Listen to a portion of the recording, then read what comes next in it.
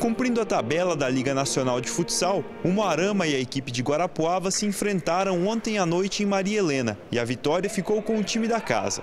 No entanto, o resultado não valia mais nada para nenhuma das equipes, já que tanto a AFSU quanto o Guarapuava se despediam da liga por não terem mais chances de classificação. Mas vamos ao jogo. O primeiro tempo foi morno e os gols só vieram na segunda etapa. Aos três minutos, o ala Daniel abriu o placar para o Moarama. Não demorou muito e o Guarapuava conseguiu o empate com este gol de Léo Bonfim.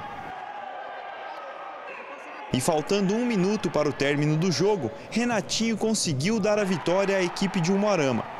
Final, Umuarama 2, Guarapuava 1.